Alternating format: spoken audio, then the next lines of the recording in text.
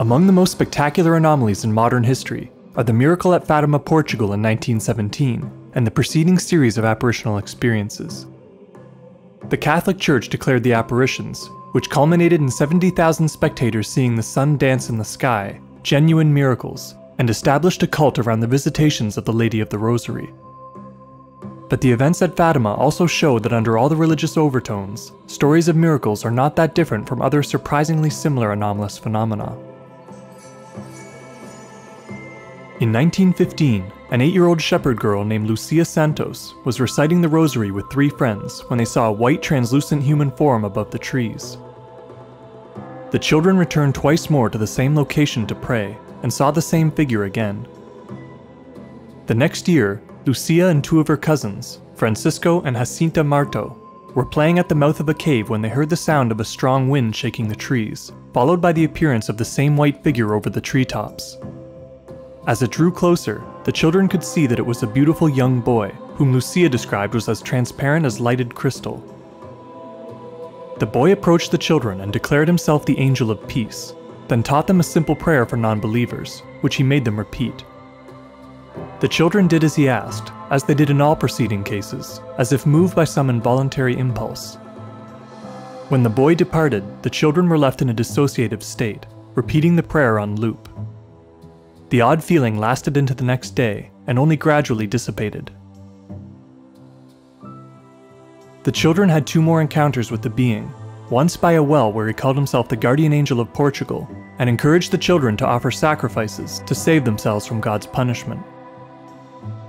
The being returned in the fall to give the children communion and remind them to pray for non believers. After each of these events, and all following ones, the children were left physically and mentally exhausted, and were sometimes hardly able to speak or walk. They also suffered headaches and parched lips. At the same time, they felt great peace and joy, and described the feeling as being immersed in God. Lucia claimed that the effect of this supernatural presence diminished with each visit. On May 13, 1917, Lucia, Francisco, and Jacinta were watching their sheep when they were startled by a bright flash of light and what sounded like a clap of thunder. They looked to the nearby cave of St. Irene, a local sacred place, and were nearly blinded by a light emanating from its direction. The children saw in the center of the light what they described as a beautiful little lady, clothed in a pure white mantle edged in gold. The lady claimed to be from heaven, and she spoke to them in Portuguese, asking them to return to the same place on the same day of every month. She then opened her arms and released a beam of light that shone through the children and infused them with a deep sense of love and joy that they attributed to the presence of God Himself. Strangely, Francisco was never able to hear the lady speak, although he saw her. At the end of the brief exchange, the lady rose up into the east and drifted out of sight. The children returned in June, this time with a group of 50 interested spectators, and again in July with 4,500. The lady appeared in the same manner as before, and projected another beam of light through the children. She also informed Jacinta and Francisco that they would both die young and go to heaven. The spectators, meanwhile, could see nothing but a thin little cloud where the children saw the lady, and a faint voice or buzzing noise during their interaction with her. Some of those in July felt a cooling of the atmosphere. But at the end of the exchange, Everyone present heard a loud explosion and watched a small cloud rise from the highest branches of a nearby oak tree, where the children saw the lady and where all preceding apparitions would take place. During the lady's third appearance in July, she asked the children to pray for peace and promised to work a miracle in October to prove her reality.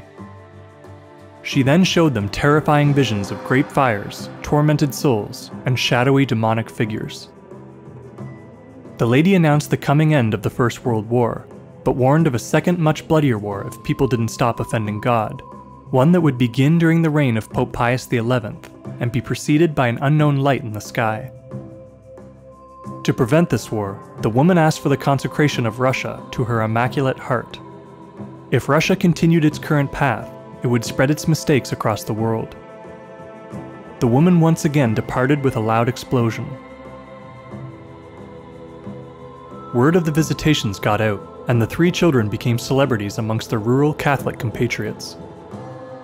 However, Lucia's own family, and much of her community who resented the visitations from priests and ailing pilgrims, saw her story as a lie.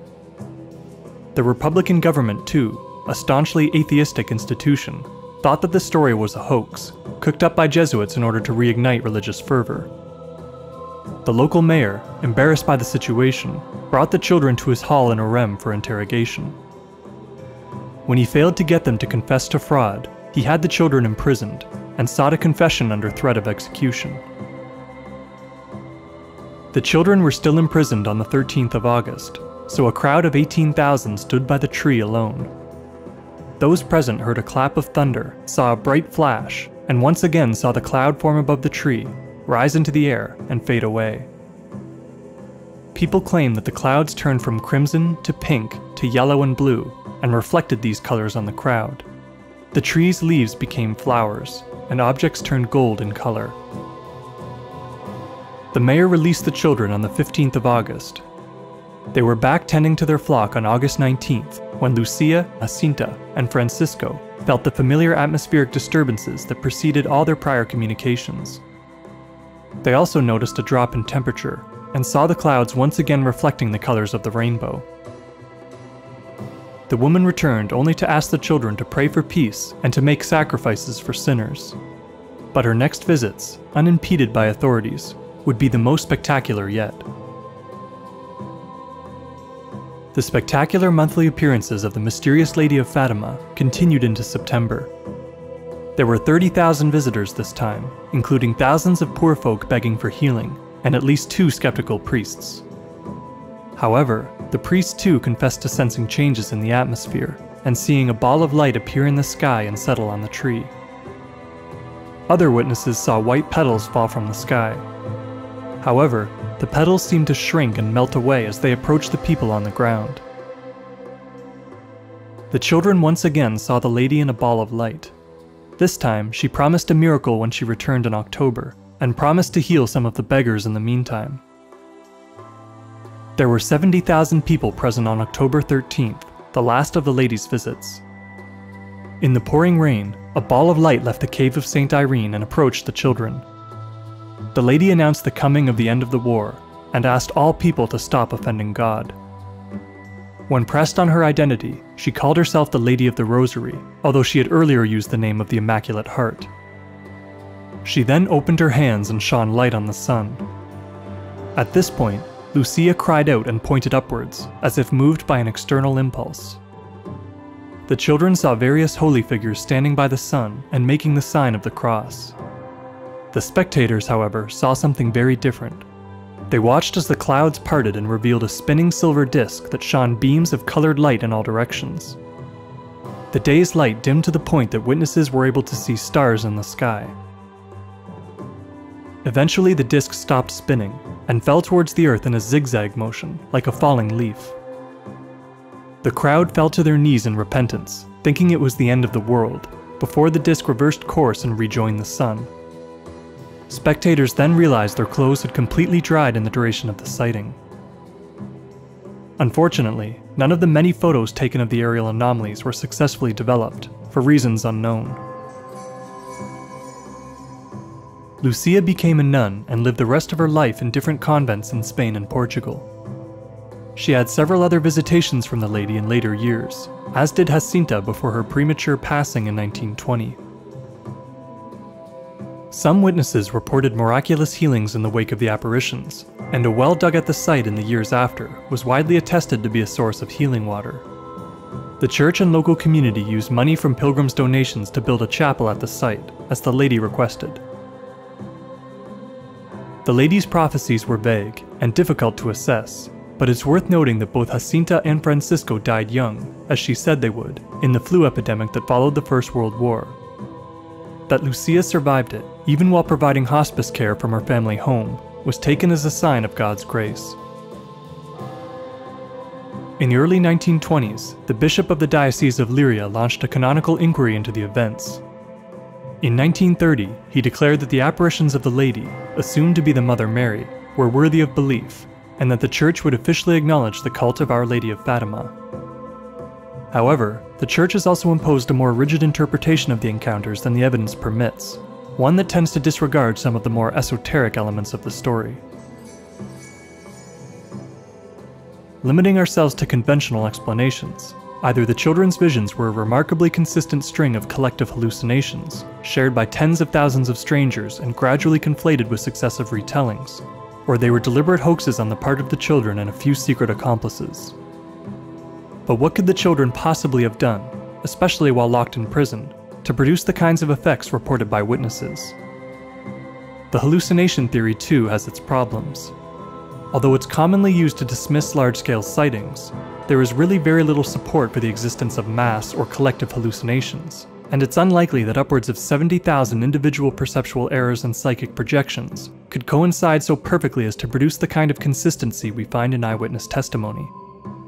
Witness reports were poorly documented, however, and it's possible the compilers selected for ones that tended to agree with one another. The apparitions at Fatima were hugely important in the Christian world, and even fueled a religious revival in Portugal that helped replace the Republican government with a Catholic one. But when stripped of the religious overtones, the stories show certain features they share with anomalous experiences not exclusive to the Christian faith. In particular, some of the children's sightings sound a lot like sightings of UFOs. Many UFO witnesses describe flying balls of light rather than structured craft, similar to the one that enveloped the Lady of Fatima, and the spinning disk seen during the Miracle of the Sun is very close to the archetypal 1950s flying saucer. Even the children's reactions to the visits, their compulsive submission, and their exhaustion and dehydration are similar to the reactions of UFO contactees. Most abductees report feeling a suppression of their free will in the presence of their alien captors, and others have intense physiological reactions. The witnesses to the Cash Landrum sighting in 1980, for example, experienced symptoms of radiation exposure and were sick, weakened, and dehydrated after the encounter, much like the three children at Fatima. The disappearing petals seen falling from the sky on September 13th are described as being similar to the angel hair and other substances seen falling from UFOs but never remaining on the ground. It is also common for alien abductors to show scenes of global destruction to their captives, just as the lady at Fatima showed scenes of the destruction of sinners to the children.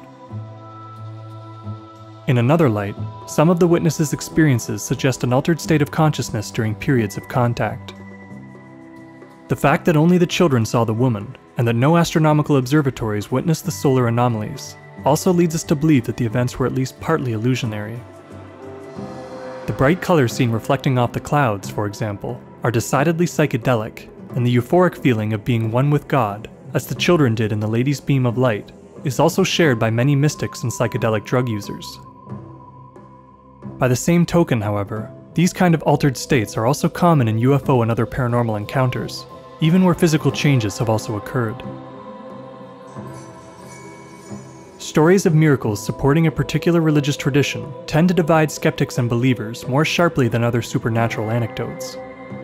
But when we approach them without presupposing a religious interpretation, we see how they are embedded in wider traditions of wonders and entity encounters that are not restricted to any one group. The string of anomalous events at Fatima are remarkable by any measure, whatever one's beliefs.